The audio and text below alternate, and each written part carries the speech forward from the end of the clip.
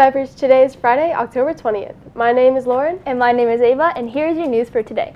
On October 26th, Canyon View is hosting a district-wide college and career fair from 5.30 to 7.30. Anyone can come and see what businesses and colleges will be there.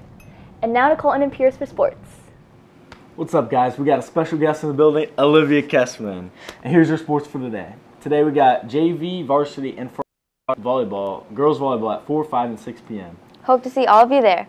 That's it. See you later.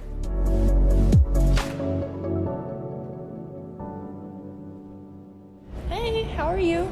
Good, how are you? I'm pretty decent. So, what are you doing? I was just about to leave. I'm gonna go to the bathroom. I'm a vape. Do you wanna join? This isn't something I want to do, and it could get me in trouble. I think I'm okay. Mm-hmm. Why not? Because it's just bad and not worth the risk of getting in trouble. Weirdos. Don't hit the puff, or things will be rough.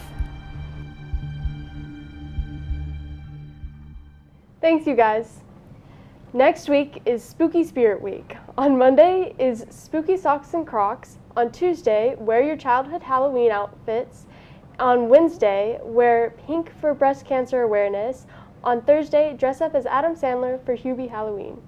On Friday, it's Freaky Flannel Day. The following Monday, the 30th, is dress up in PJs. And on Halloween Day, wear your costume to school. And now to 8X for sport weather. Hello, Vipers. I'm Adix. I'm here with your three-day weather forecast. On Saturday, tomorrow, we will have a high of 100 and a low of 66. On Sunday, we will have a high of 96 and a low of 65. On Monday, we will have a high of 87 and a low of 61. We will have sunny weather across these three days.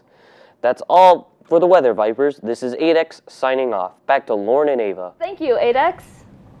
The quote of the day is Without the bad days, the good days aren't good days.